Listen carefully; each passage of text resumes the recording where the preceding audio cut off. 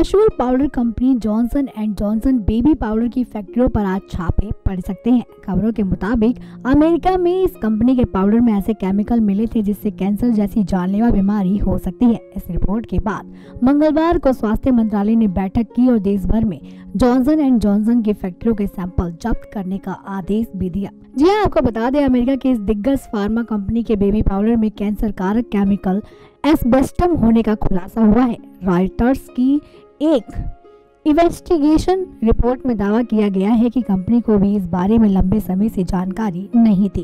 Report के मुताबिक साल उन्नीस सौ इकहत्तर से साल 2000 तक टेस्ट के दौरान बेबी पाउडर में कई बार एस्बेस्टम मिला था।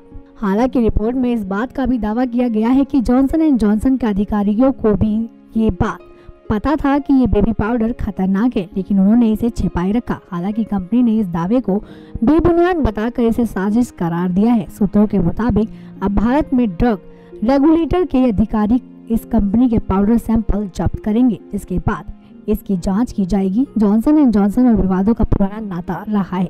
तो वहीं उन्नीस सौ बयासी में अमेरिका में इस कंपनी की टॉयलिनॉल दवा से सात लोगों की जान चली गई थी। वहीं 2008 में कई लोगों ने कंपनी के उत्पादों पर बदबू और मिलावट का आरोप लगाया था। 2010 में कंपनी के वाशिंगटन प्लांट को बंद करना पड़ा। 2013 में साइकोटिका दवा के गलत प्रचार में जॉनसन पर 220 करोड़ डॉलर का जुर्माना लगा। जॉनसन एंड जॉनसन के नौ मोर टीयर वाले बच्चों के शैम्पू पर भी सवाल उठ चुके हैं।